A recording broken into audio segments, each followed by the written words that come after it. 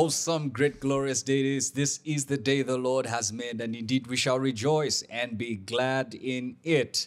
Remember to subscribe, share, and like. Tell a friend to tell a friend to watch the Umubanga podcast, where we aim to transform, inform, as well as inspire. Our guest today, ladies and gentlemen, is one whose life speaks of volumes when it comes to empowering the young generation to take the mantle of revival and change in the nation. He is an expert in talent discovery and leadership development, a doctor of philosophy with a degree in religious studies, a doctorate in leadership, man- leadership and management, and a doctorate of business administration. Our guest is also the senior pastor of Redeemed Christian Church of God, RCCG, in Zambia and founder of the Happiness Foundation International. He is a husband to one wife proud father of five children, and is a multi talented individual with a burden to transform lives through his lifestyle and passion for growth. Let us put our virtual hands together for the one and only Dr. Patrick Osagie. Thank you so much. Welcome, welcome, welcome. thank welcome. you, thank you. So I was even wondering who you are introducing. so many titles. Yeah, yeah. glad, glad to have you. Awesome, Um, awesome.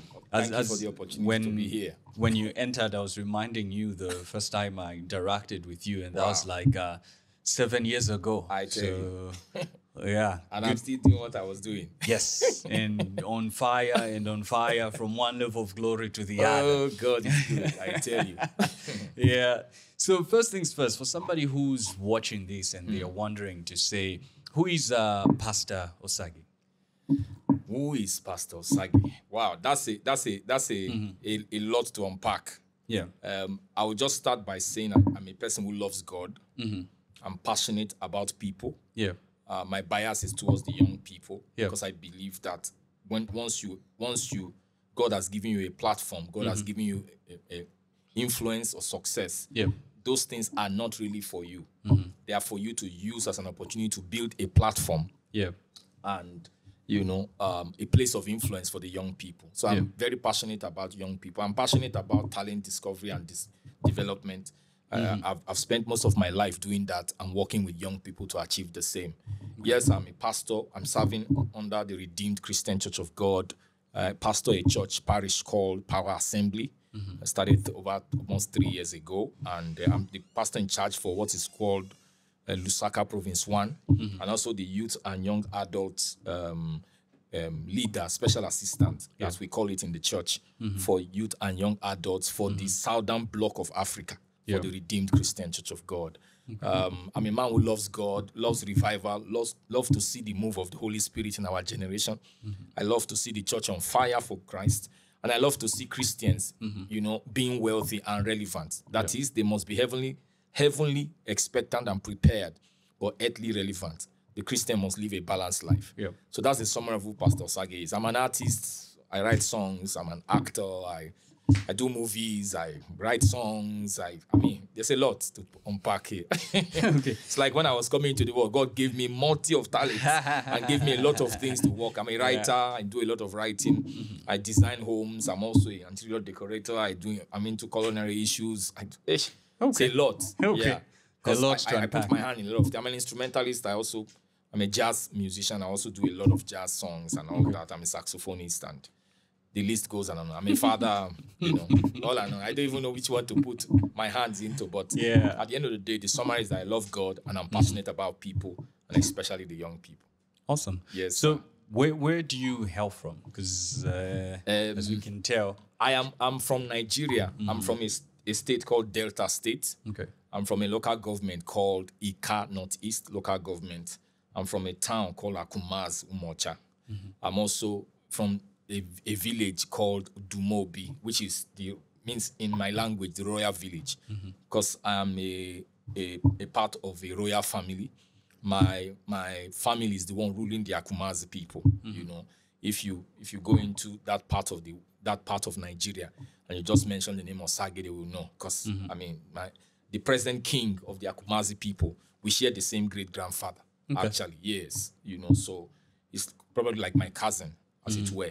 Uh, so that's where I come from. That's where, I, but I've been in Zambia for over 25 years. Yep. And it's interesting that I've lived the exact number of years in Nigeria as I've lived in Zambia.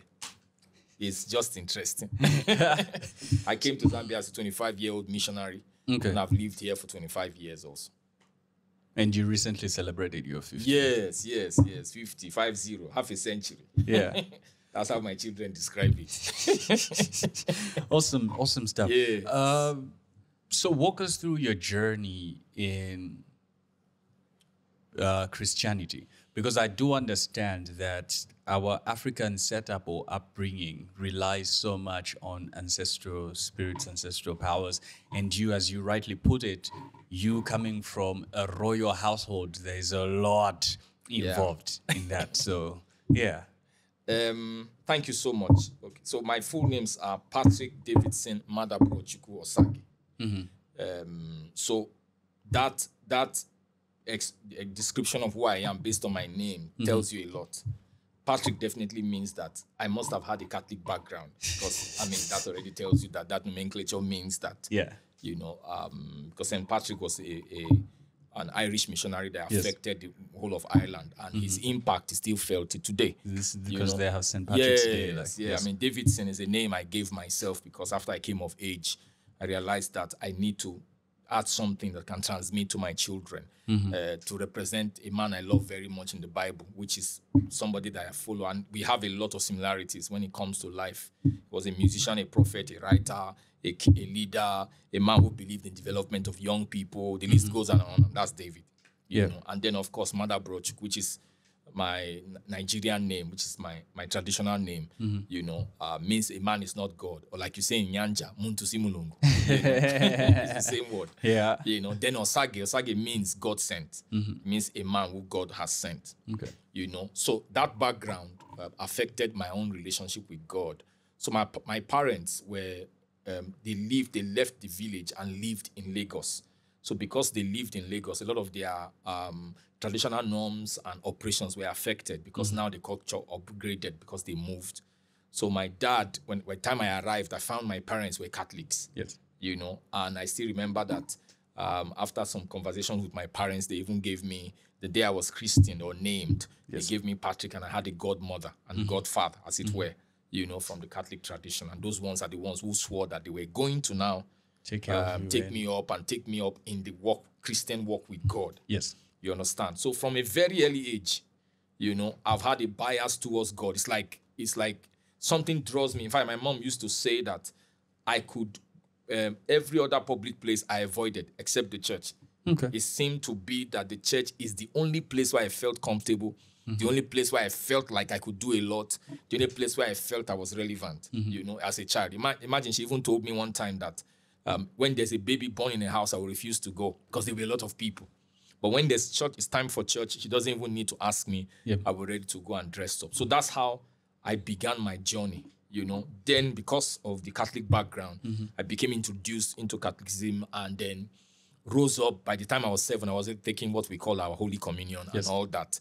Uh, as at that time, the only thing I had not done in what is Catholics call their seven sacraments is Yes. death and marriage Okay. you know, had so accomplished all that at a very young age that they started leading me towards becoming a priest. Okay. So that as far as I was concerned, I was a righteous person, I was born again. I'm not the kind of guy you would say is a sinner. Mm-hmm. Because I'm not the kind of guy who lies or steals or I mean, if you look at when it comes to works, I, I mean, I'm the kind of guy you can say is a heaven person mm-hmm.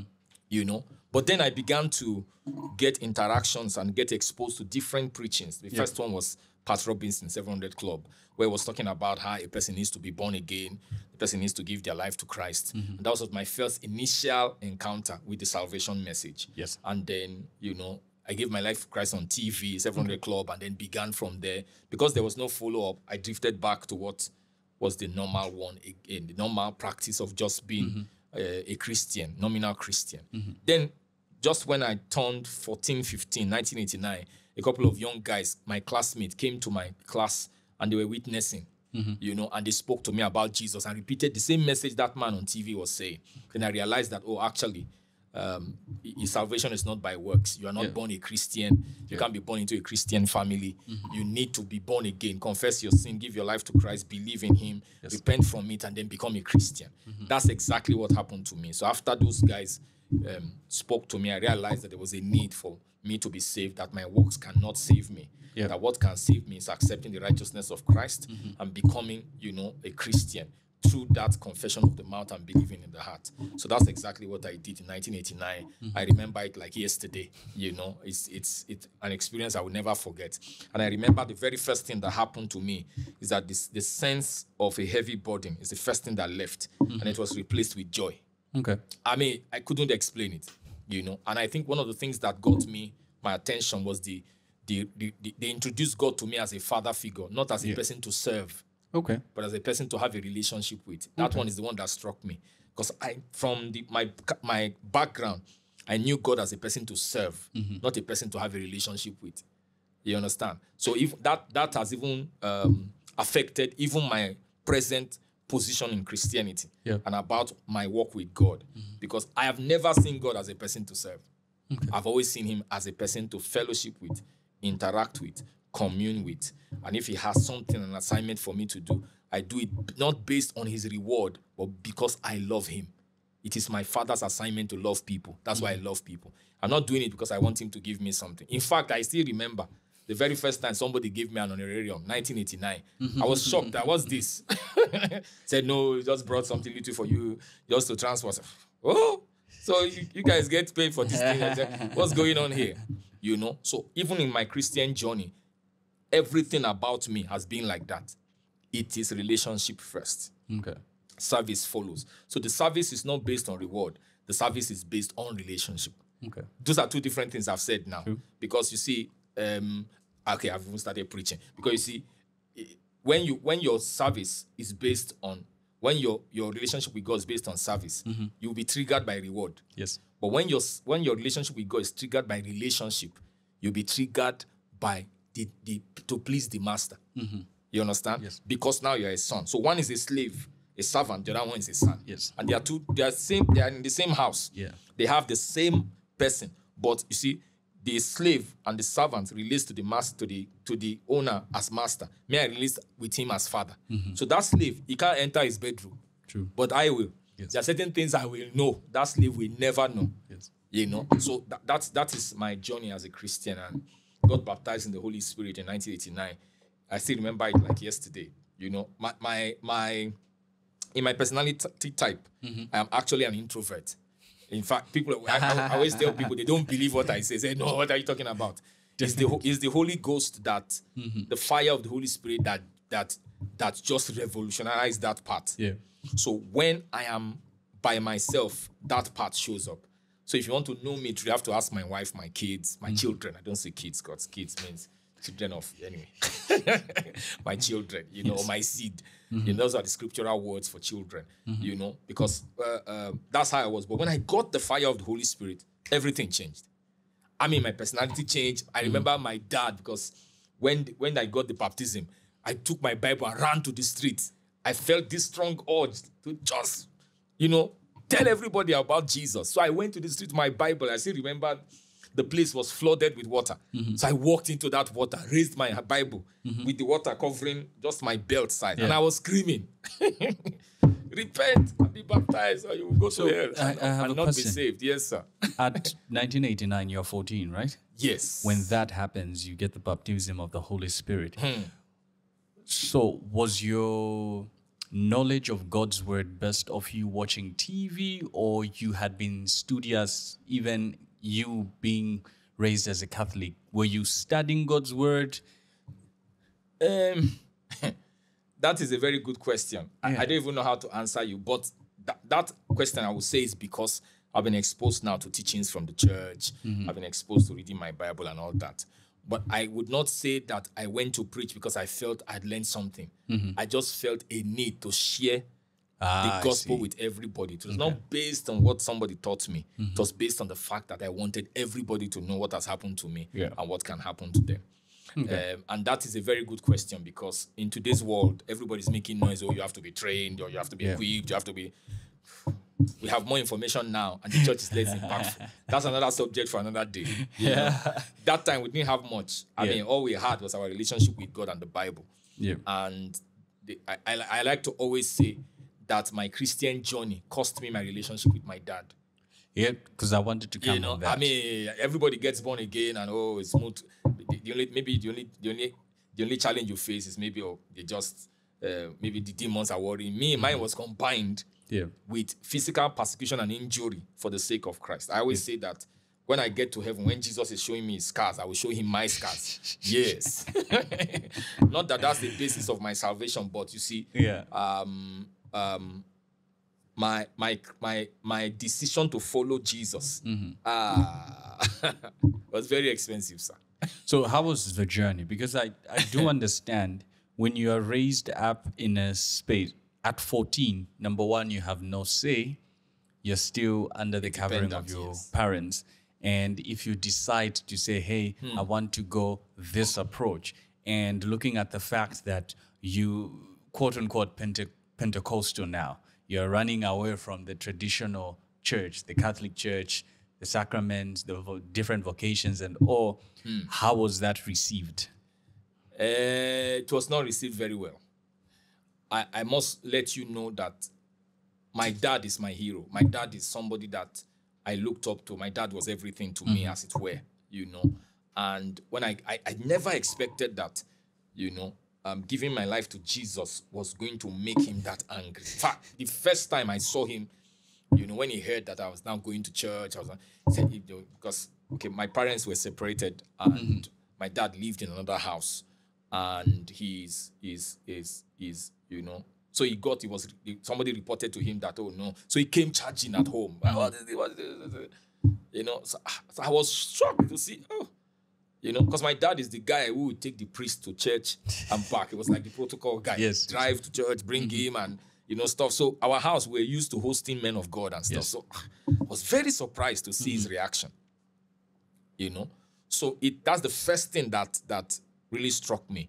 You know, um, but it was not received very well. So everybody was worried. I, I, looking back now, you know, it's one of the reasons why why I'm passionate about the church. Um, that Christianity should not be related to poverty. True. Yes, because some of the words my dad used to say was, "Now you've joined these people, you are destroying your future.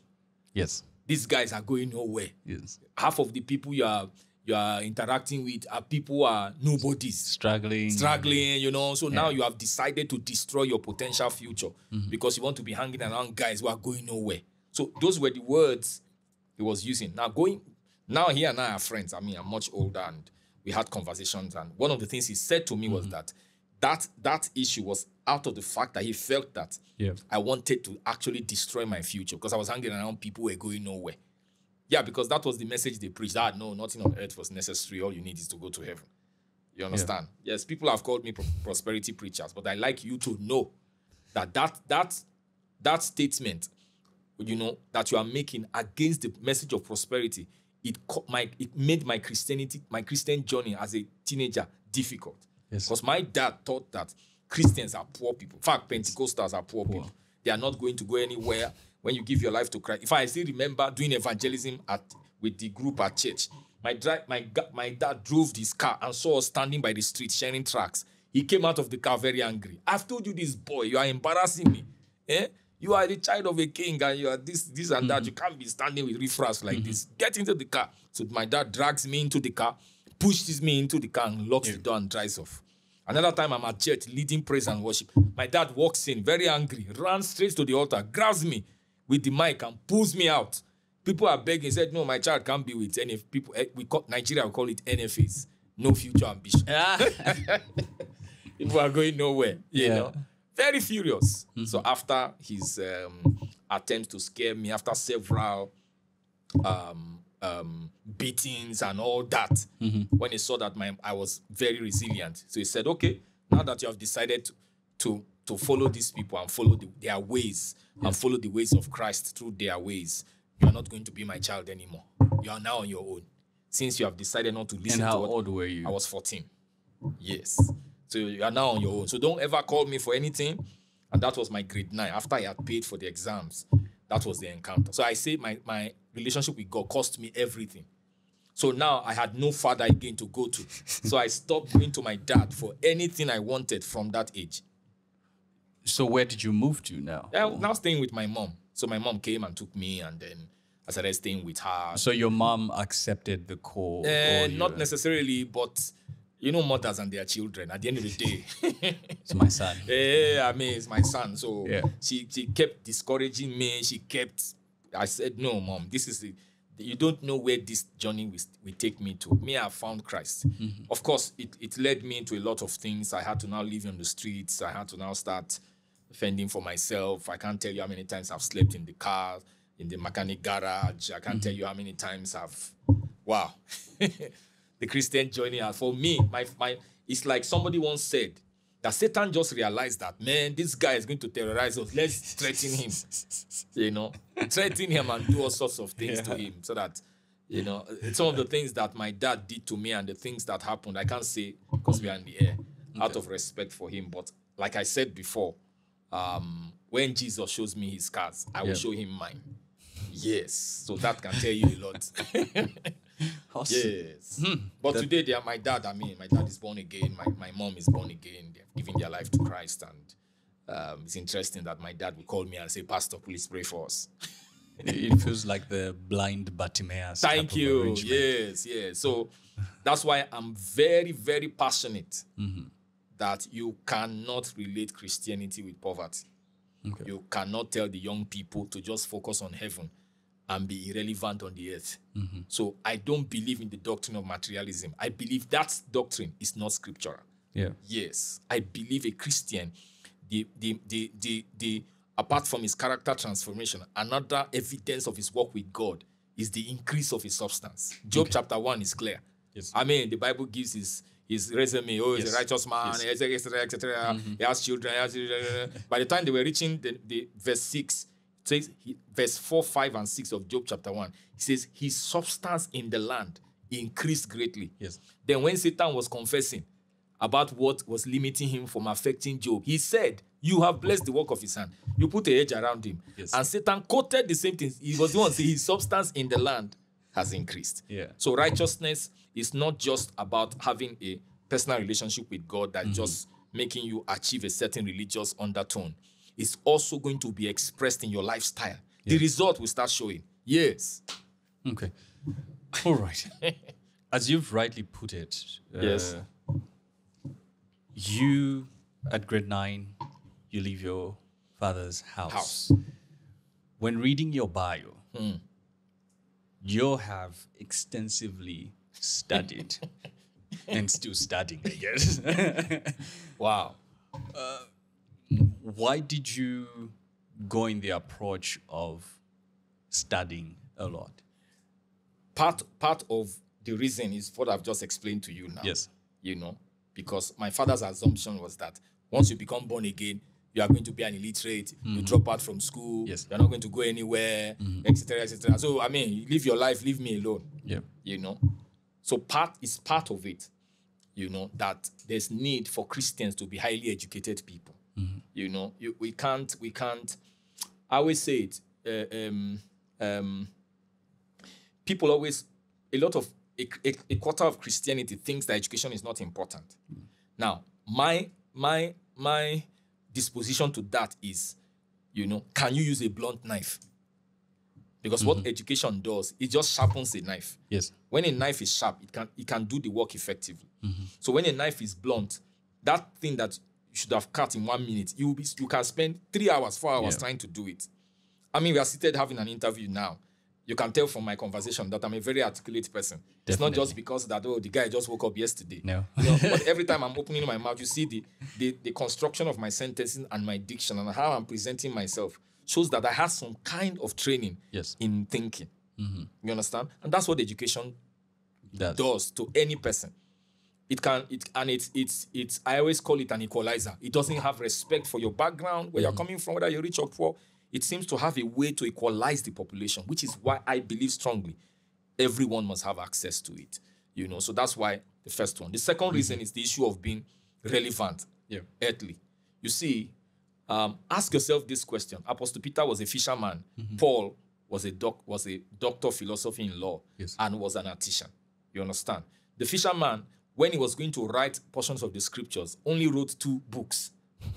but check out the man who was educated. How many books of the Bible he wrote? He wrote. You And how he wrote as Good. well. So. Okay, let's talk about Moses and Joshua because you see, Moses was highly educated because he was part of the Egyptian, Egyptian system. system, You yes. understand? He was trained in the Egyptian system for 40 years. Mm-hmm.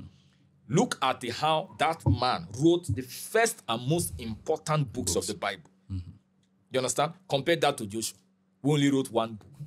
You understand? Mm-hmm. And see the, the systems and processes with which Moses articulated his revelation. So certain encounters Moses had, Joshua did not have it. Yeah. So I always say your level of knowledge determines the, the level of encounters you can have with God. That's why I think it's First Peter 5. First Peter 1, it talks about the fact that I think sec- it Second Peter 1 5 that to your to your to your knowledge, to your to your faith add virtue, to your virtue add knowledge Yeah. Because there are certain things that if you don't know, God can give you. If you don't have an understanding of it, you can't get it. That's why Proverbs 4 7 says, Get understanding. You know, wisdom is the principal thing. And then Galatians 4 1 and 2 talks about the fact that if a person does not have knowledge or is like a child, he will not be different from a slave because they will not be able to give him treasures, mm-hmm. things that are important, because his mentality is like that of a slave. So the day he graduates from a, a, a child to become a son, then they can give him inheritance. I believe one of the reasons why the body of Christ today is poor is a lack of information. Education plays an important role in that area. Because when, when the mind is educated, when the mind is transformed, which is mm-hmm. why that's Romans chapter 12 talks about transformation. Verse 2. Yeah. It's a key word. First thing, oh, I beseech you, therefore, brethren, by the mercies of God, that you, present your bodies a living sacrifice, holy and acceptable unto God, which is your reasonable service. Then, two, say, be not be conformed to this world, but, be renewed by the transformation of, the mind. So you see, the more the mind is transformed, then you'll be able to judge what is good, And what- acceptable, and perfect will of God. So mm-hmm. more transformation, more resources, more transformation, more influence and dominion. Mm-hmm. Less transformation, less influence and dominion you know. So the, the the lack that you see in the body of christ today is just simply because a lot of us as christians are not educated people you know. And when i say educated i'm not talking about just gathering papers and putting things. The capacity to be able to reason you hmm. understand? One has to be trained to reason. Yep. you understand? That training is what education is. So that when you get an information like me now my my phd is in, in religious studies.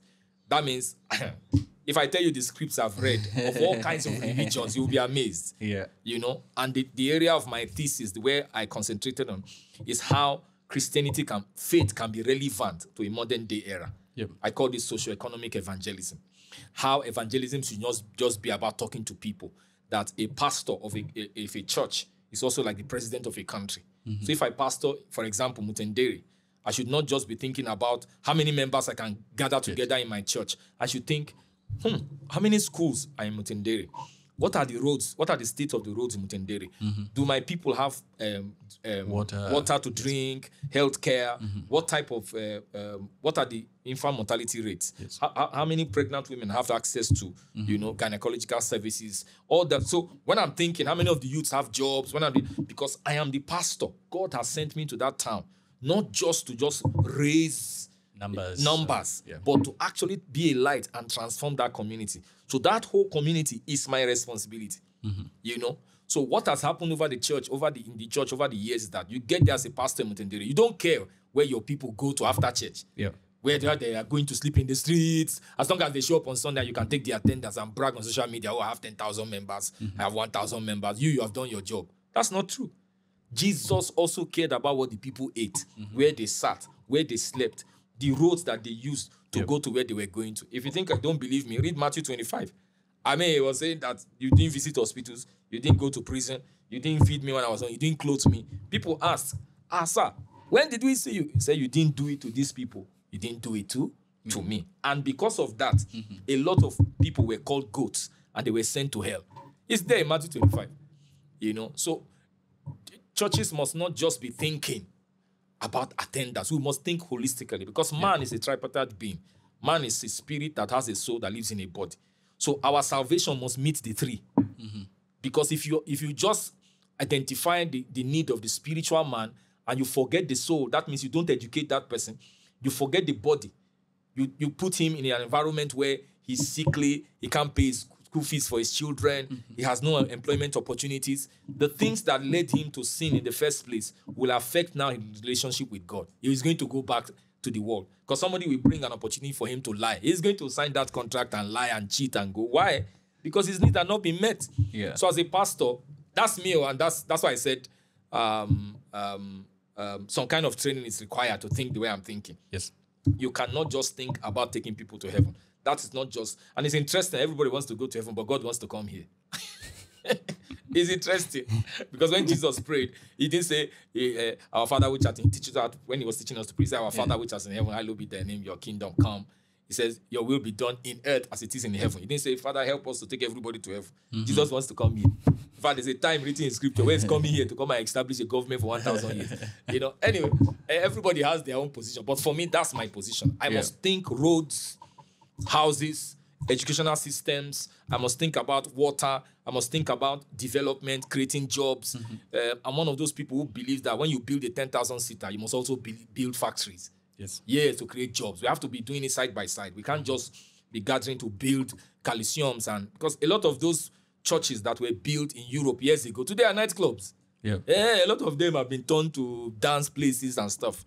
You know, so the church must not isolate itself from the from the things that affect people mm-hmm. because our life is about people. You know, so th- those are the, the my position about education, and that's the reason why um, I, am passionate. I'm still a student myself. I'm still, although I've rested a bit last year and this year, uh, but next year, by God's grace, I'm pushing for another set of papers again. I mean, writing then, more papers yeah, to I mean, get recommended now we have to go into to artificial intelligence and a lot of, uh, robotics and all those things. We yeah. need to start reading it now. Yeah, because okay. I mean, at the end of the day, we have to stay relevant. So, as we said earlier, you say that at 25 you moved to Zambia uh, as a missionary. 1999, exactly. So, so coming back, when you became born again, Pentecostal, did you now join the Redeemed Christian Church of God? No, no, no. Actually, the church where I got born again is called Gospel Believers Mission. Okay. Under my pastor then, his name is Pastor Jude Uke. Mm-hmm. Um, those are the people that that um, what's the word um, created my desire for a personal relationship with God, mm-hmm. and they are the ones who taught us about revival and all yep. those things. You know, that's the church where I got baptized. Um, and stuff. So those are that's that's my journey. So after some years, mm-hmm. because where I was living, the government declared it as an area that was not gazette, gazetted. They asked us to leave, mm-hmm. so we had to move, and the government devo- demolished that area. Yep. So I had no opportunity to interact with that church anymore. Um, so when I was going back and forth, then God spoke to me that He was sending me to an Anglican church.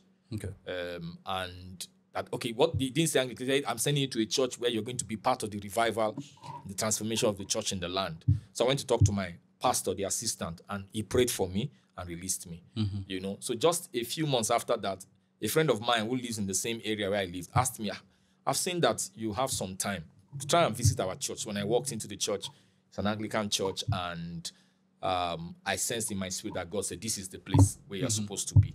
So I was there for five years. Okay. Um, and it was during that time that I had an encounter with the Redeemed Christian Church of God. So I used to go, 1994, I used to go for uh, what they call digging deep, mm-hmm. you know, those days on Tuesdays. You know, I will attend, and then on Sunday I go to the Anglican church, then, you know, just like that. And for several years like that until I finally decided to move to the Redeemed Christian Church of God and join a church called, the a parish then in a place called Obanikoro, uh, called Lighthouse um, Parish. Mm-hmm. And that was a church that was pastored by the man, the pastor I, that brought me to Zambia. His name is Pastor Jolomi Benebiche. He's the one that was sent here.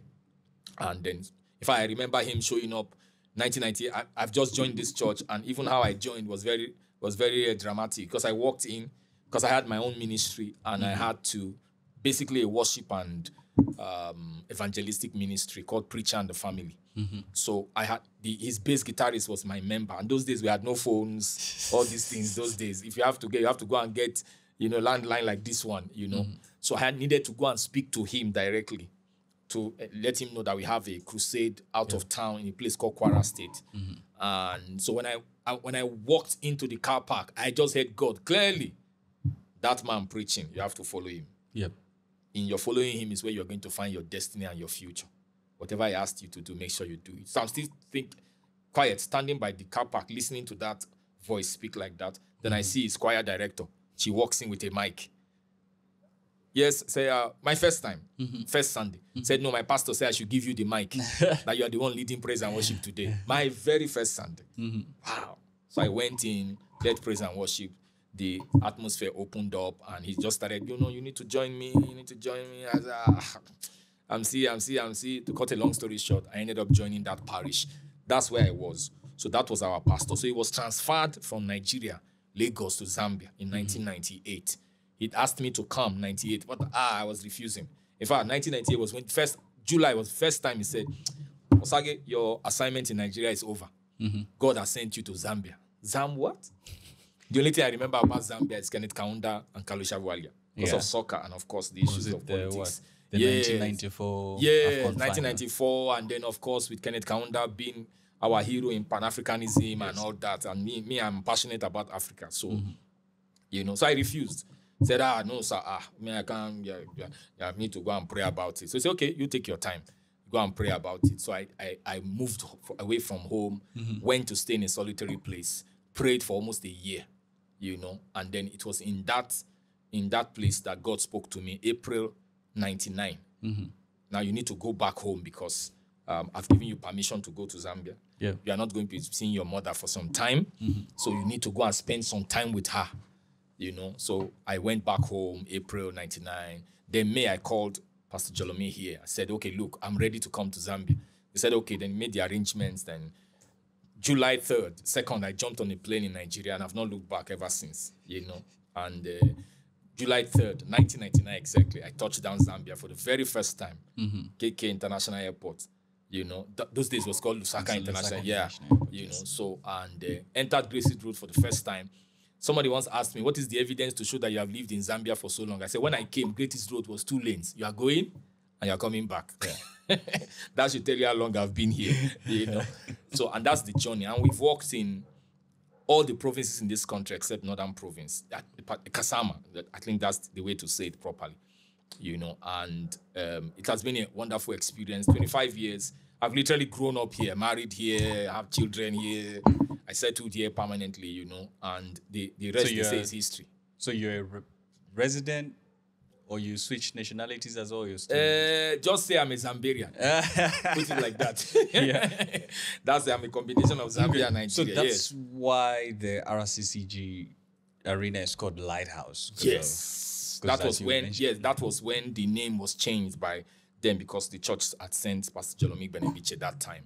And when I arrived, that was the name they had called it Lighthouse Arenas at that time. Yeah, and that was the church where I started from.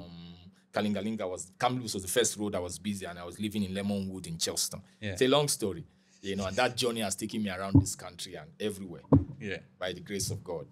Okay. So let's talk about family. So did you meet your wife here, or you went back to Nigeria? And Wow, that's a very important story. You know, um, February 1990, February 2000, yeah, February 2000, Pastor Jolome had started a new branch of the Redeemed Church called Jesus House Parish. And he had asked us to follow him, and we had gone with him to begin that parish. You know, um, then my wife invited this, my, the Pastor Jolome invited this group to minister at church. They were a group of young girls who used to sing powerfully, although all of them are married, the, the America, everything has, Yeah. you know. Um, and they were called they were called Destiny. They were pastored by Tivo Shikapwasha. You know, he was the was the manager of this group. You know, so Tivo was spoken to by my pastor to invite a group to come and minister at church, and that's when my wife showed up. You know, for, for me that's the first time I was meeting her. You know, although she gives a different story, and I'm shocked. you know, she gives a different story, and um, um, that's the first time I met her. So when she was, when the group came and was ministering, I just heard the Holy Spirit say, clearly, that one, that girl, which one, that, that one, that one, that's your wife. Yeah. I just come out of a, a, a relationship that did not work out with another Zambian lady. Um, I guess God did not want that to happen, you know. But then I just heard God say, that one, that's your wife. I said, ah, Zambian, ah, no. With that, what has happened with me with this one, I'm not going to marry a Zambian again, you know. But then I heard the whole clearly so, Yeah. you know. Um, he just said to me, "You can't use one person's mistake to judge all the women in this country. True. Learn to keep people's mistakes attached to them. It's like saying all men are. all Eh, are the eh, same. men are, eh, you know, I, I, mean, the way you and I are talking, you, you can tell from the way I'm talking that the relationship with the Holy Spirit is a major part of my decision making skills. Yes, you know, and I thank God. I'm, I'm, I, I don't know what I would have done if I didn't have that access. You know, from the time I go, maybe it's because of how I was treated by my dad.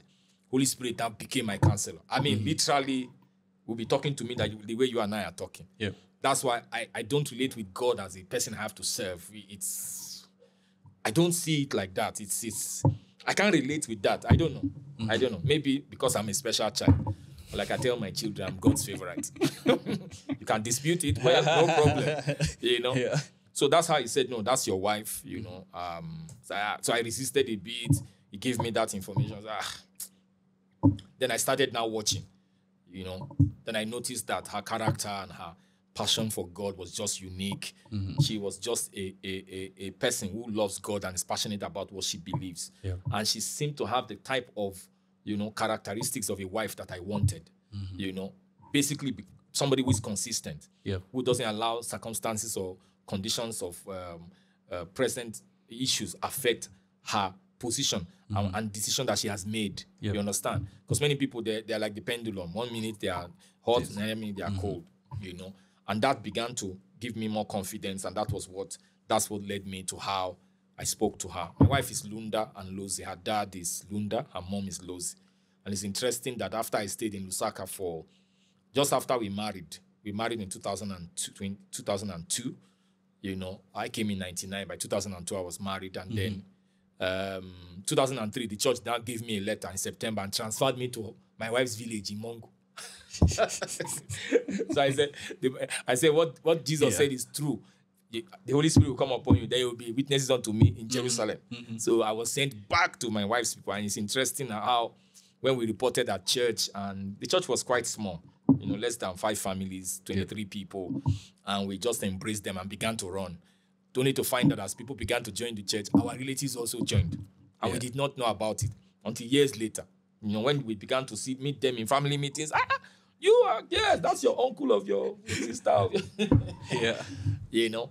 And it has been a wonderful journey. I, I pastored in Mongu for five years, and I So don't know. you speak a little bit of some Lozi as well. Uh, yeah, Lozi was the very first lang- Zambian language I could ac- articulate with. Yes, you know, because you you had to you had to preach, you had Yeah. to speak to people. Mm-hmm.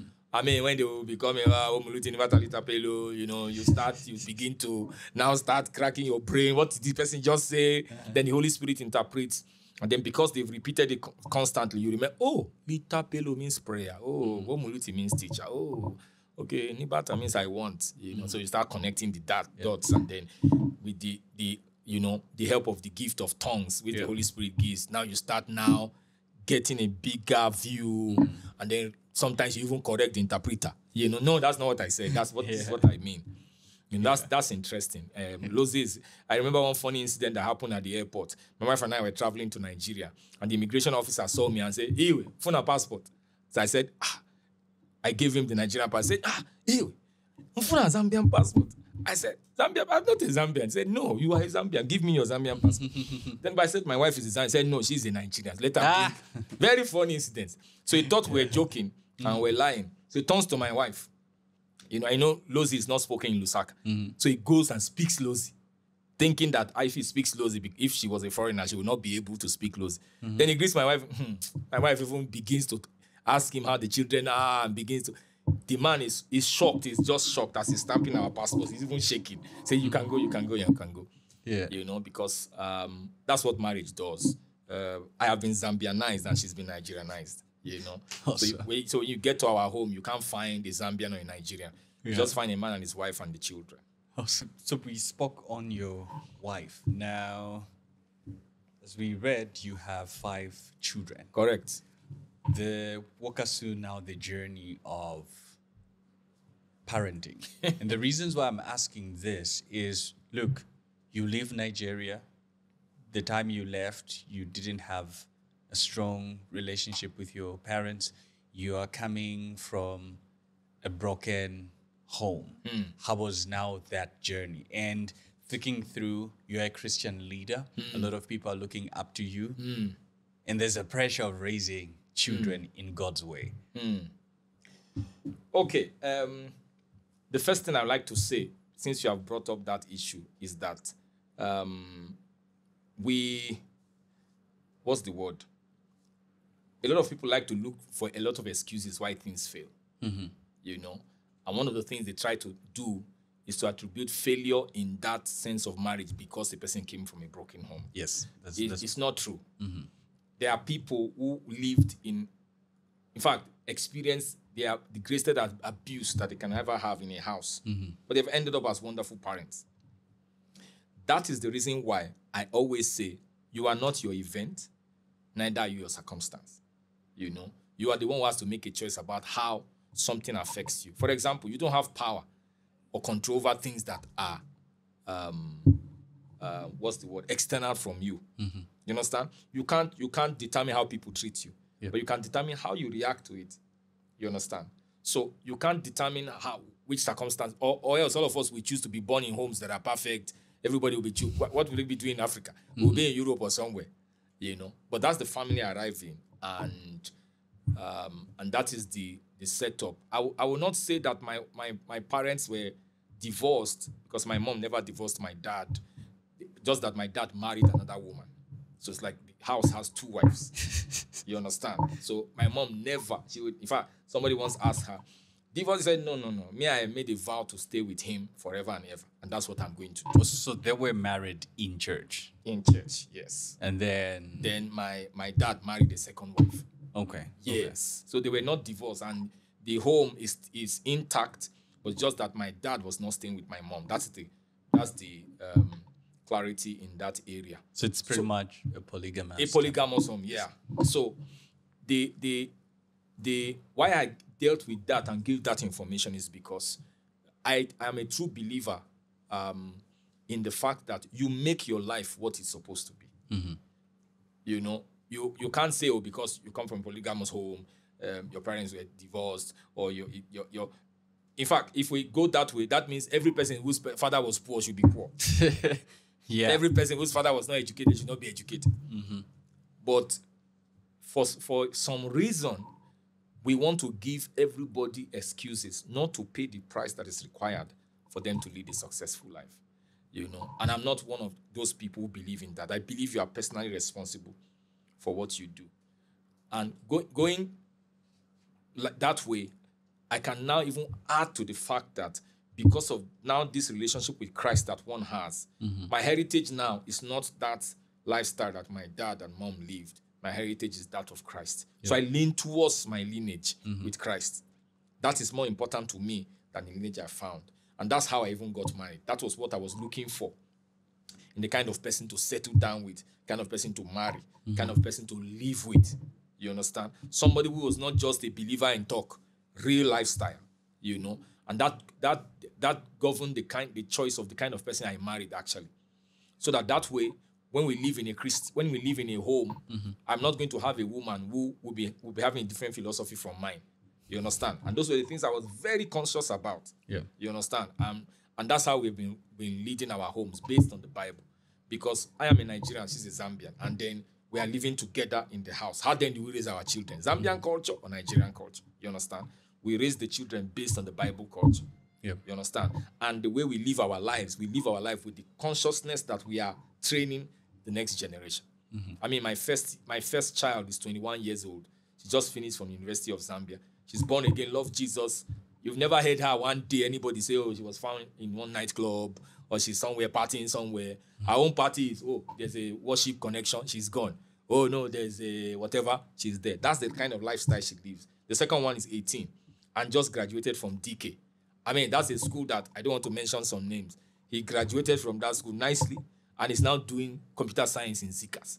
You understand? Yeah. The number three is actually in grade 12 and she's the pastor of a church, you know, in school already. That tells you a lot. Yeah. The number four is also a person who has a bias towards Christianity. And the number four is already, um, I mean, as a baby, used to ask us to switch on the music.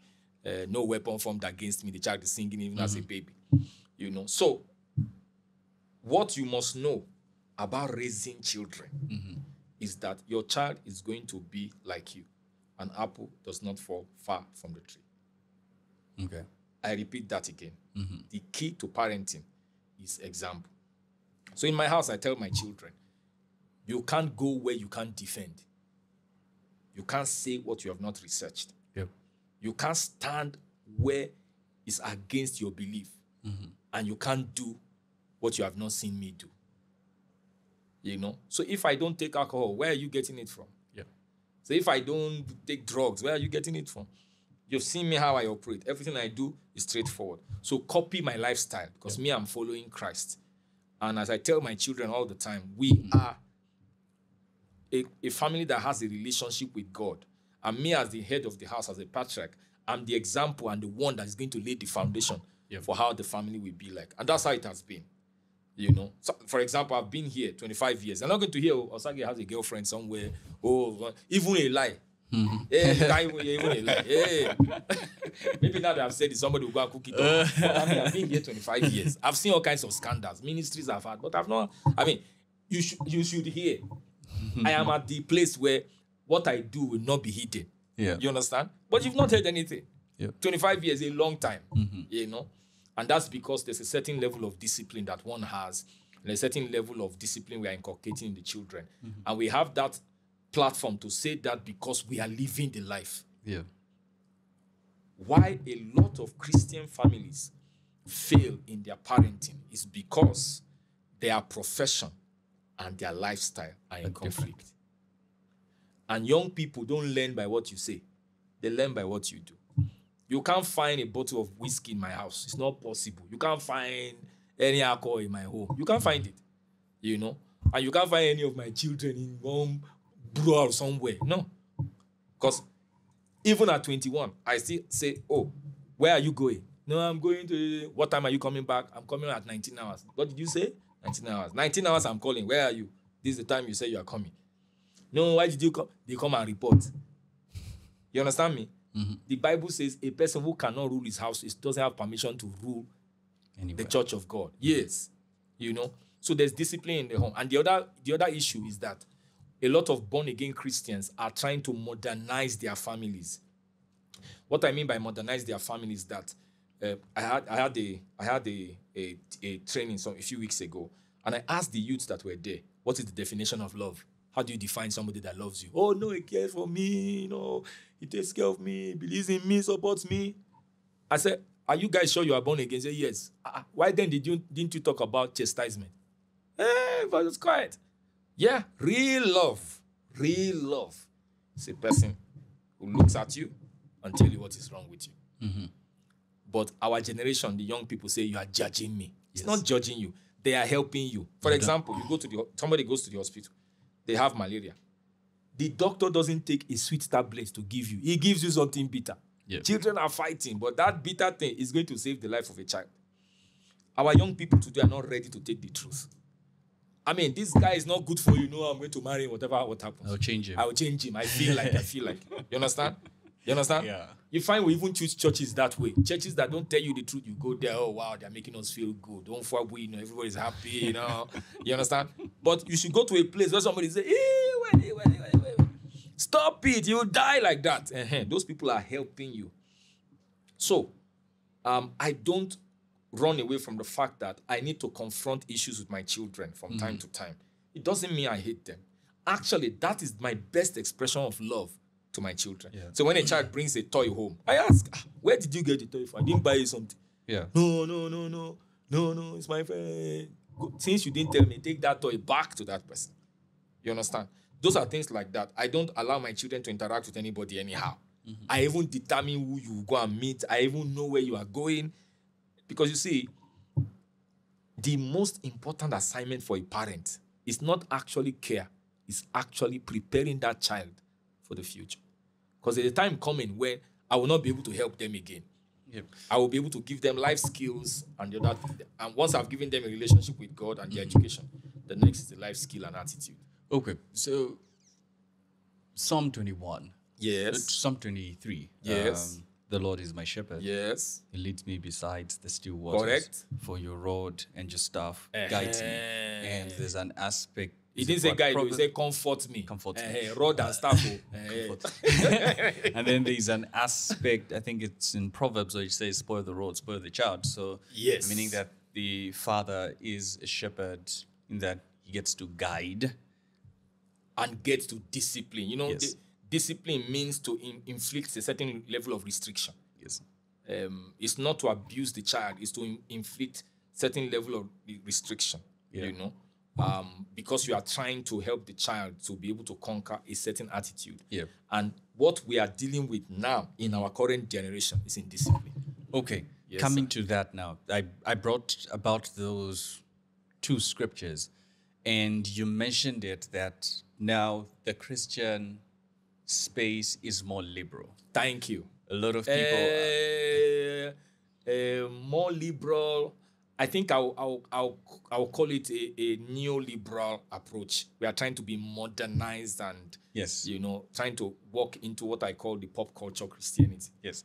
So a lot of that is happening. There's uh it's now part of lifestyle to belong to a church or a movement. So long as we're able to pray and post prayers on our WhatsApp statuses and Facebook, then we are good.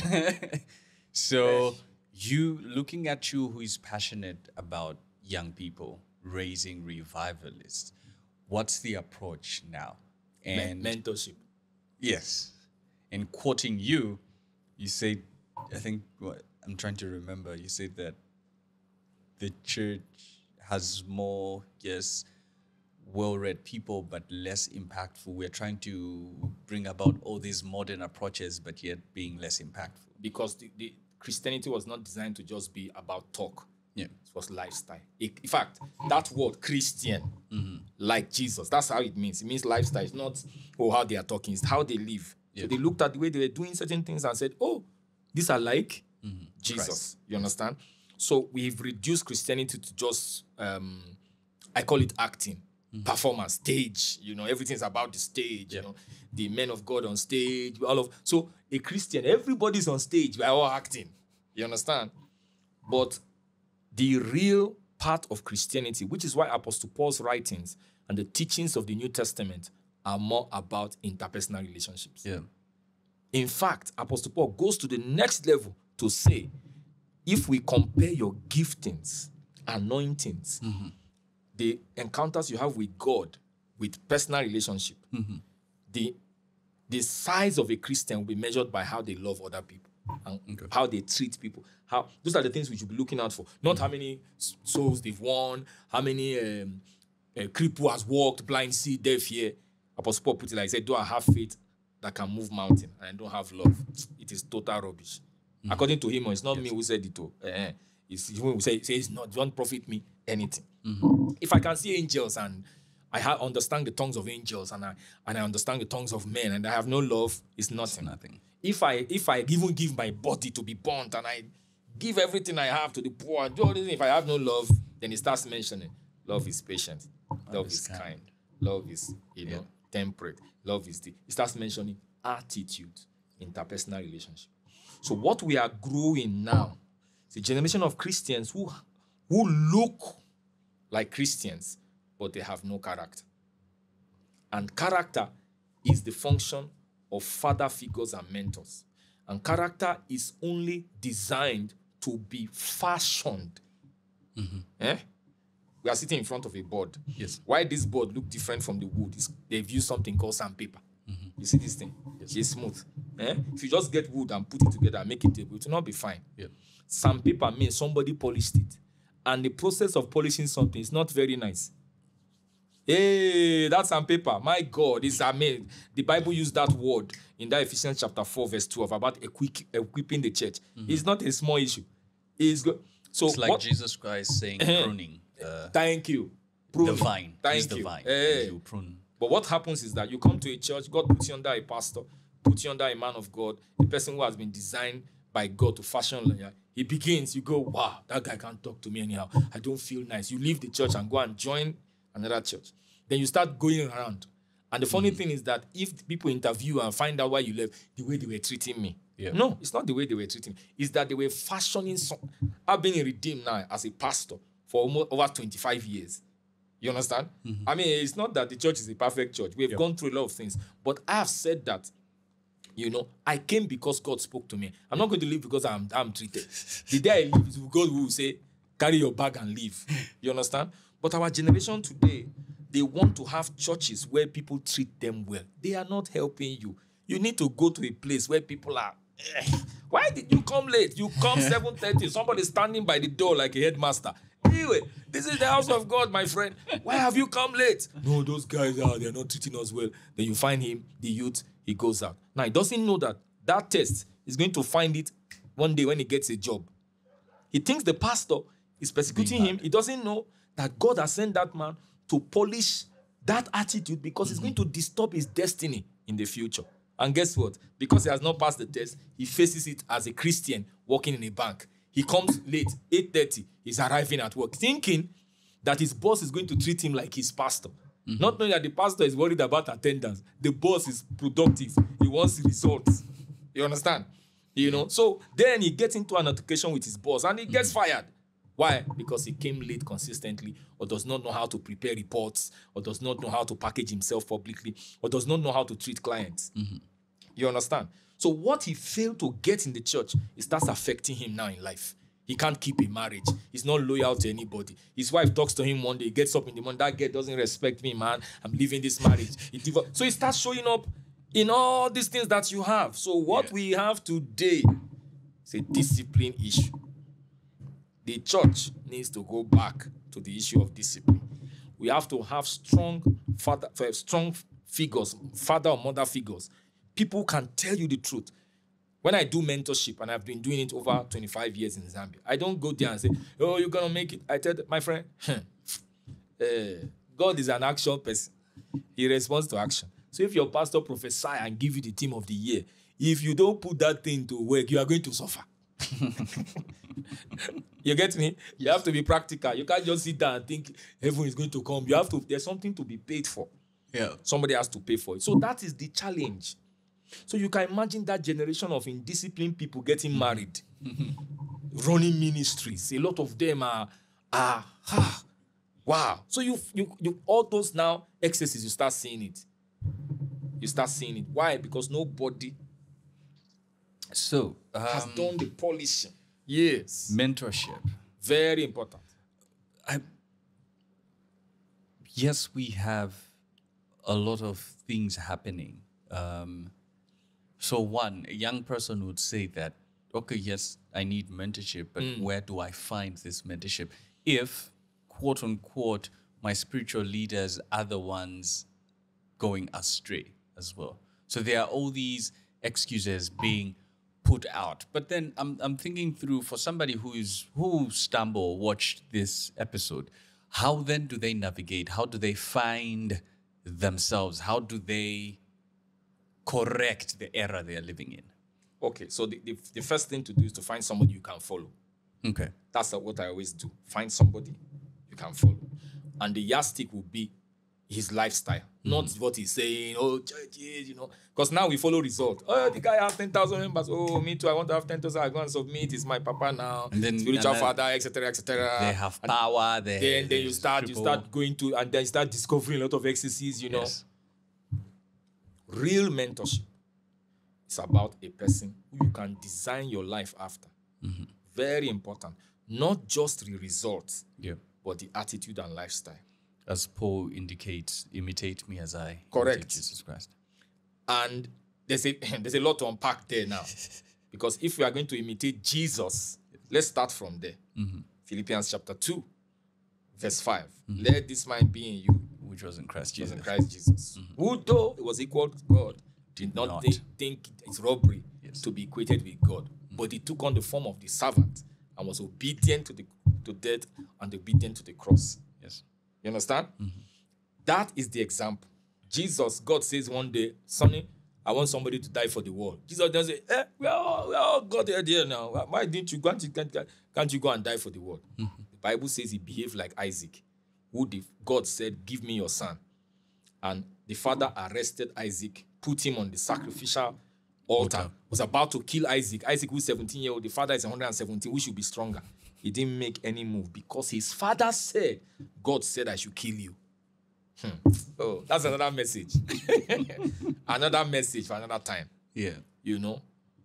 But then God intervened and said, No, don't kill your child. And the, the rest we say is history. But then God killed Jesus on the cross, allowed him to die on the cross for something that he did not do. That's a son. You know? And he said that what I do is what I see my father do. Mm-hmm. You understand? And the Bible says because Jesus had that attitude, Yes. God has highly exalted him and given him a name above every other name. At his name, every name must bow. So when Paul says, imitate Jesus, imitate me as I imitate Jesus, Apostle Paul was talking about the death to self, the death to the flesh, mm-hmm. the death to this world. Okay. And those three areas are the most important enemies of the Christian. In fact, I would say the, the, the biggest challenge of our generation is the death to self. Because mhm. Jesus is the one that said it. Any man that must come after me, must first deny himself, Yes. take up his cross, and follow me. Who is teaching that guy message now? Nobody will attend your church. You this one is talking about dying. In fact, the Jesus introduced that message, the 5,000 people scattered. only a few remained. you see, it, it is a death to self. Ah, The day sometimes when I teach that message, I have to be very careful because when, when legally, when you are saying that you deny yourself, ah, yeah, yeah, yeah, yeah. it means you are denying yourself the privilege and rights that legally, you know, legal protection has given to you because you are obeying Christ. That's what it means. Deny yourself. Go and do, do a dictionary search. So what does it mean to deny? When you say I deny myself, you are denying your personality. You are allowing somebody else to start telling you what is right, what is wrong, tell you where to sit, tell you where to go. For example, I'm in Lusaka now, not because I chose to be here. It's because the church transferred me here. Yes. Eh, if I wanted to choose where to live in Zambia, I would go and stay in Mansa. or live in Mongu. What am I doing in Lusaka? You know?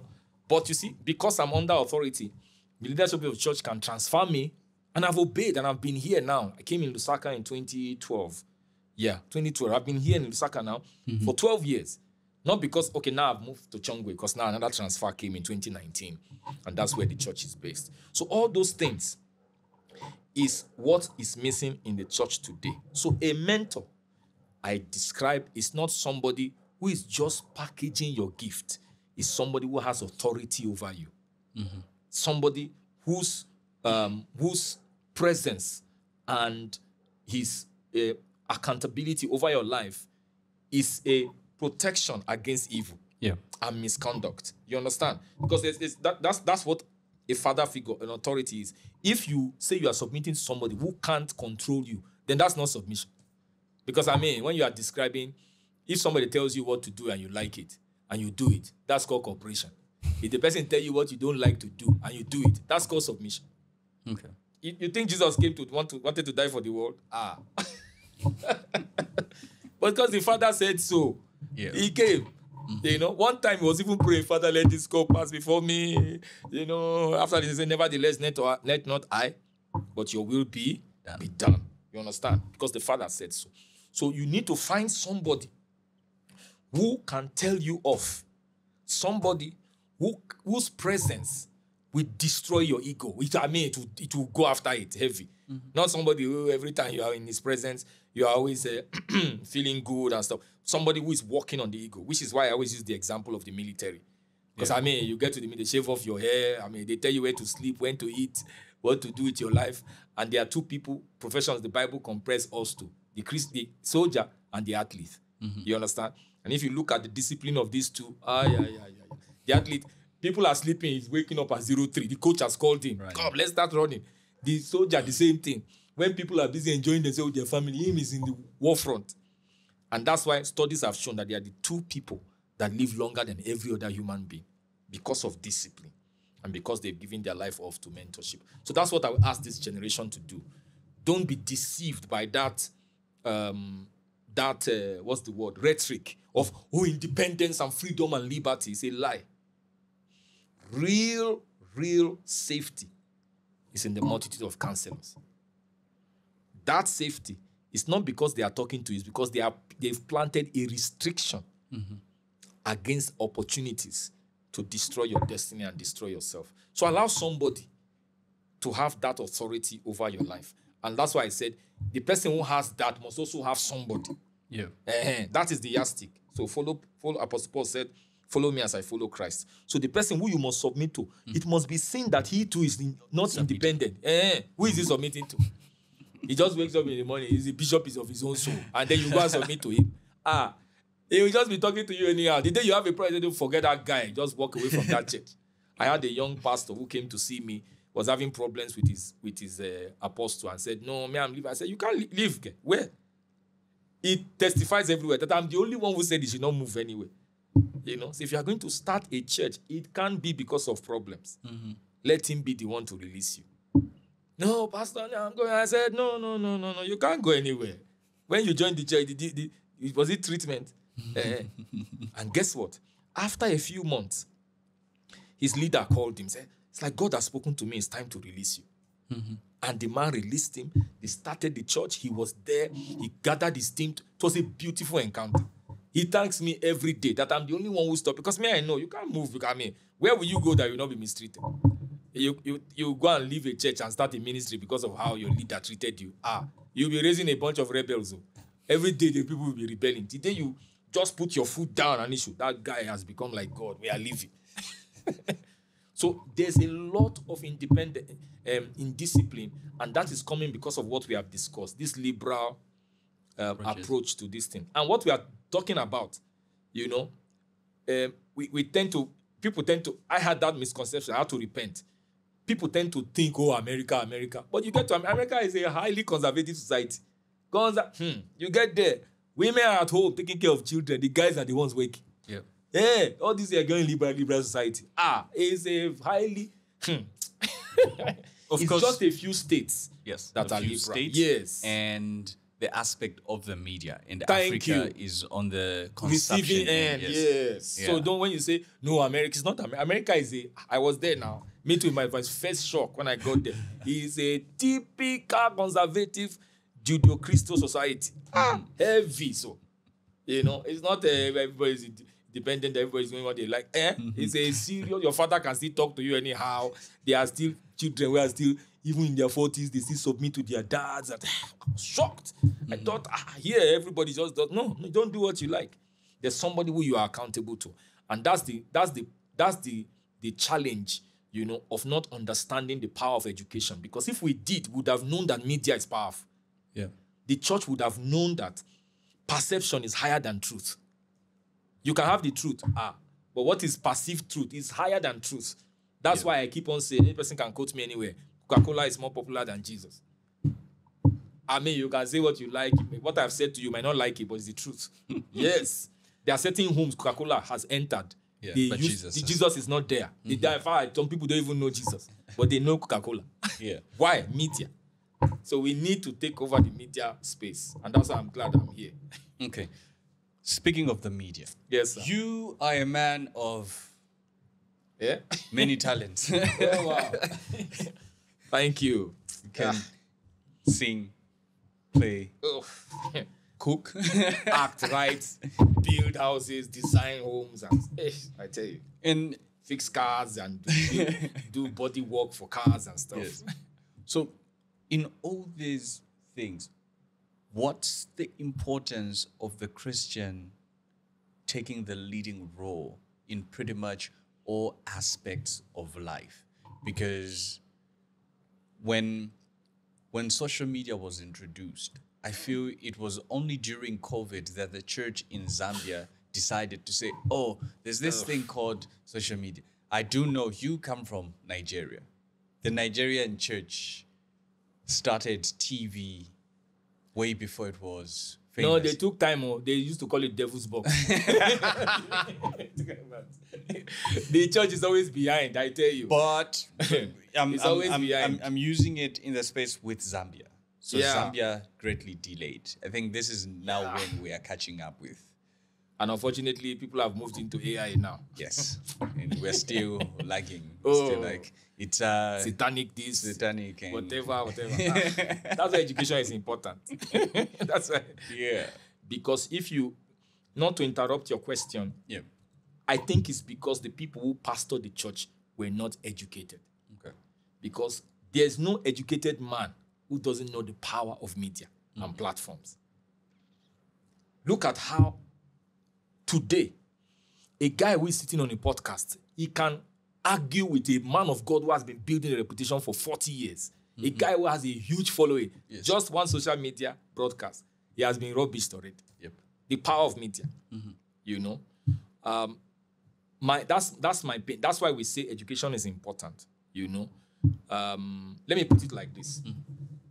In Acts chapter 4, there was a revival that took place because after the, the apostles were persecuted, they went and cried to God for power, for boldness. Mm-hmm. And the Bible says from verse 31 that the place where they were sh- praying was shaking and the power of the Holy Spirit came upon them. Verse 33, a lot of them received great grace and great power mm-hmm. to give witness to the re- resurrection of the Lord Jesus Christ.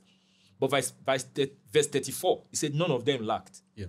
because 35 and 36 began to show that people who had lands began to sell them and the things that they sold were given to meet the needs of the poor. So I ask you, how did they buy the land? Where did they get the land from? Mm-hmm. Who gave them negotiation skills to be able to sell property and engage in business? Yeah. So revival by design, and I like it because we are we are recording. You need the young, young next generation need to hear it clear, carefully. True.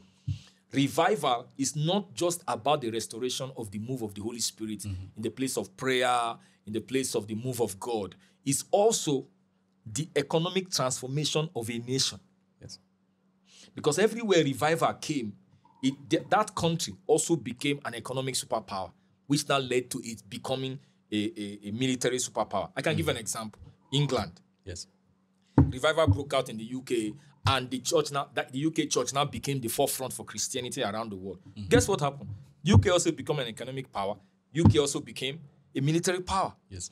When the UK began to drift away from its Christian values, its influence also began to reduce. Yes. The Bible says righteousness exalts a nation, mm-hmm. but sin brings reproach to people.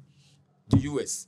The US now, it, it I mean, by the time the revival broke out the Azusa Street in the 1900s, from that depression that it was going through, it became the house of revival and the move of God. Yeah. Also, the US became also the economic power of the world and also became the military power of the world. Yes. So you can literally trace revival, righteousness, and a conscious effort to live a life of purity with the transformation of a country.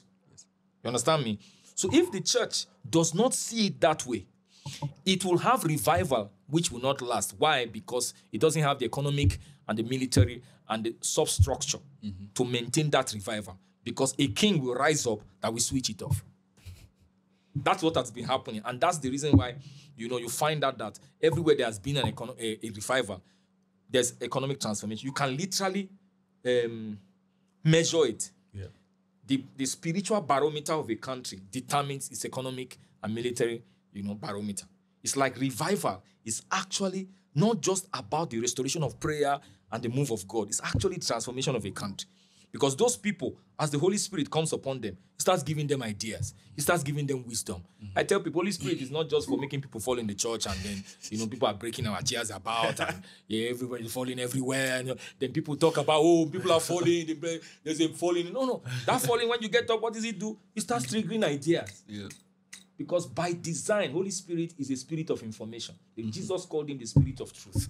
So he gives. hmm, I want. I, I can't even begin to tell you this dimension. How a geologist one day was praying the spirit, and God showed him that you know a a, a, a, a project that failed. His organization had failed. You know to find oil in a place.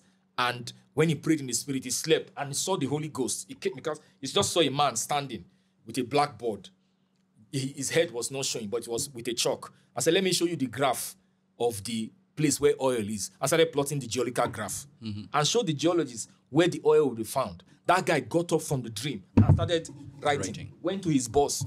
Guys, I know where the oil is. You, you are just a junior engineer. What do you know? So I'm telling you, it's okay. If you if this thing doesn't work, you lose your job. He plotted the graph. The organization took him, took him seriously. When they followed his resolution, they found oil in a place where it should not be. That guy, as I speak to you, is a public speaker everywhere. Mm-hmm. He's making, he's a multi-million dollar guy now. He's not a small boy anymore. Mm-hmm. You know, another one, he was told by the Holy Spirit to tie balloons and use them for decorations in the sleep. She woke up and started using. Ba- that's when balloons became. Balloons were things children used to play. That woman was the first person who started, who found a way to tie balloons and create shapes from them. She made money from it. I can give you ideas, ideas. You know, um, because the spirit of God is the spirit of truth. Yeah. It means He's the spirit of creativity, ideas, and when He's on people, people start thinking solution, solution, solution. I mean, mm. the Bible says the children of Israel faced bitter waters, and Moses prayed, and God showed him a tree to put in water, and that tree made that place, that water that was bitter, Sweet. it made it sweet. That's solution. You can package that water now in that community and start giving the community and selling a bottled water. Mm-hmm. This water now you call bottled water. Somebody that inspiration came. Satan has no inspiration because he's not a giver. He's a thief. He has no ability to create anything. Anywhere you see creativity, it means God is involved. You know. So that is my view. Um, we must stop looking at revival as just oh people gathering in church and following oh miracles, cripples walking. Solution. The spirit of God the spirit of light, the spirit of truth. It brings development, it brings transformation. And as we follow God, that thing will start showing in the country. People will start, look at now, you know, America is the country that had the largest move of God. What happened? They started producing millionaires. Who is the richest man in Africa? Dangote, Where is the revival now heavy in, in, in the world now? Nigeria. Guess who, who- how many billionaires do you think Nigeria has produced in the last 20 years? A lot. Ah, you can you can tra- it's automatic. You Yeah. can you can't remove revival and economic transformation and influence. You understand? I mean, even Nigerian soccer players, they I mean, they are, it's incredible. Yeah. Half of the songs we sing today are Nigerian songs. Those days was the other way on. They're American songs. The Americans were the ones who were full. Now everything is Nigeria, Nigeria, because that's where that's the center of the move of God now. And since Zambians are going to drink from it a lot, it means that revival is coming here. And I believe strongly that Zambia's destiny is to be the country that will be the hero, is the last frontier for the gospel on the earth. Um, is the one that will be, be, be championing the move of God in the last days. And I think that that's basically one of the reasons why I was sent here. okay. Yes. sir.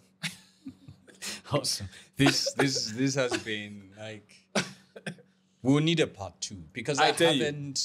Dealt with other Oh, yeah.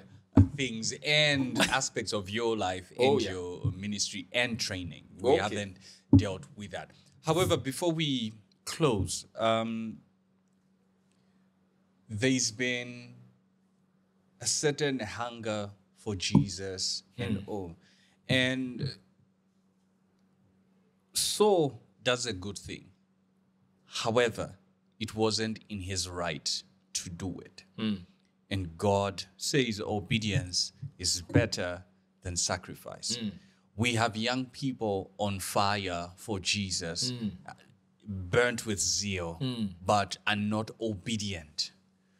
Even as we close, what, what are your words to young people watching this? Well, um, that's a very good question. The spirit of the prophet is subject to the prophet.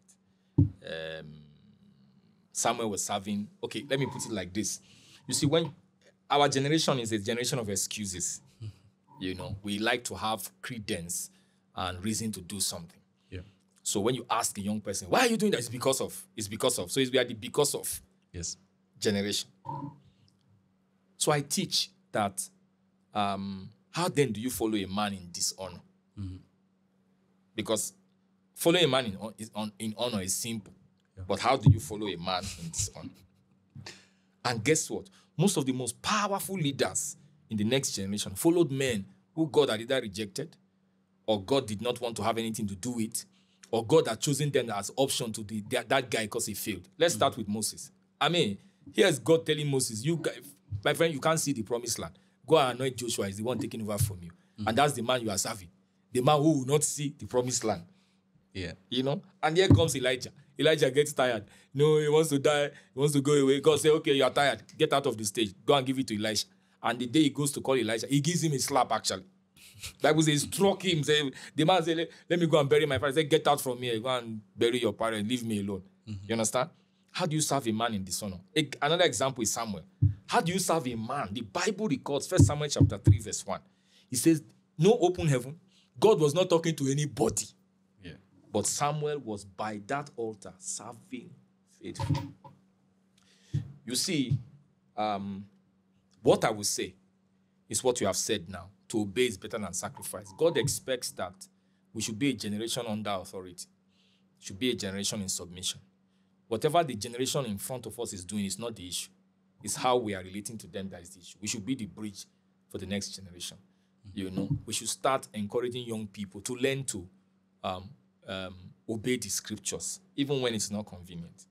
Because God, you can't give excuses to God, because God does not respect of anybody. You can't say that because somebody did this to you, you have a right to do that to the other person. You maintain what you have control over, which is why there's going to be judgment. Because what people don't teach people is that as God is going to judge all believers, Christians have their own judgment. I hope you know. Yes. Eh, because and I've had the privilege of being in that judgment. God gave me a preview. Ah, yeah, yeah, yeah, yeah. It's not a funny issue. It's not a. fu- In fact, I, I just woke up and found men, men of God standing in the clouds, and all of us had files. And at the far end, there was some big boys with tape with huge tables with everybody's document, and everybody's going. These mighty men of God, and everybody's shaking, shaking, you know. And they get to my turn and they give me certain instructions that they are giving me another opportunity to go and correct it, you know. And I've from that time I've not been the same, mm-hmm. you know. So the the youth must remember you are also going to face your judgment. Yeah. And in that judgment, they're not going to say, oh, because you had a bad leader, that's why you became bad, or because you did not have the right training, that's why. Mm-hmm. God doesn't listen to excuses. He said, in the time of old, God has permission, but in these days, commands mm-hmm. all men to repent. You know? So there's no excuse. You must stay under authority. Focus on your goals, focus on the assignment you have with God, and focus on a personal relationship with God. Don't get yourself entrenched with things that don't concern you. Mm-hmm. Another person's lifestyle is none of your business. You know, you concent- concentrate on your lifestyle. Spend time mm. finding about yourself, who you are, your strengths, your weaknesses, you know, what you can do, your opportunities. Focus on yourself. And you know, Jesus even said it, eh? Yep. Say you can you can only love your neighbor as much as you, love yourself. So if you don't know how to love yourself, how can you love the next person? So it mm. means the self-discovery, the self-love is a place to go. That's not selfish. Because Jesus is the one that taught us. Because you can't give what you don't have. Yeah. So I think for young people, um, they should stop focusing on other people and spend time taking care of their own personal relationship with God, their own lifestyle, their own visions, their own, so that when um, they reach an age like mine, they will be able to say, "I have no regrets." Like me, I have no regrets that I came to Zambia. I mean, I have no regrets. You know, at the end of the day, I followed my passion, and it has landed me uh, sometimes in trouble, other times great opportunities. I've met a lot of wonderful young people. I was just from an interview about youths and told them that people should not complain about youth. Youth just need to be given a platform to express themselves. Yeah. So if you are watching me and you're listening to me out there, I want you to know that we believe in you, we trust God for your life, and that you'll be greater than us. That's our prayer. Amen. Amen. Amen. Pastor Dr. Patrick Osagie. Yes, sir. We can talk to you tomorrow. Yeah, yeah, yeah. Like, I am truly honored to be able to have this conversation with Yes. you. Yes. And yeah, like looking forward to to another conversation so that we dive deeper and talk Yes, about other Very aspects much. of life. And Very much. Yeah, you have more to pour out. Amen. Too much. All, all these you can see just Yeah, yeah. you can see too much to park. out. Yeah, Yeah. Um, I'm, I'm reminded of uh, Paul writing to Timothy, telling him to say, Study to show yourself an approved workman of God, rightly dividing the word of truth. Yes, sir. And uh, we, are, we are seeing that. Thank you, sir. yeah. to God be yeah. the glory, sir. Amen. Amen. Amen. Ladies and gentlemen, hopefully you have been impacted, transformed, as well as inspired. Remember to like, share, subscribe. Share this with somebody. If you've heard this and have been blessed, share this with somebody so that minds can be transformed, so that we can be inspired unto greater works. Psalm 119 and verse 9 says, How can a young person keep his ways pure? Verse 11 tells us that I have hidden your word inside my heart mm. that I may not sin against you. Mm. 106, I think, 103 tells us that your, your word is a lamp unto my feet and a light unto my path. Mm. So hold on to God's word, as Joshua 1 and verse 8 tells us to say. uh, meditate on this book of the Lord day and night. Meditate on God's word, that it may guide us and that it may make us walk into righteousness and purity. So, from me, Dennis Mubanga Kabwe, and the Umubanga podcast team, it's bye bye. Awesome. Thank you, sir. Yeah. You can see that the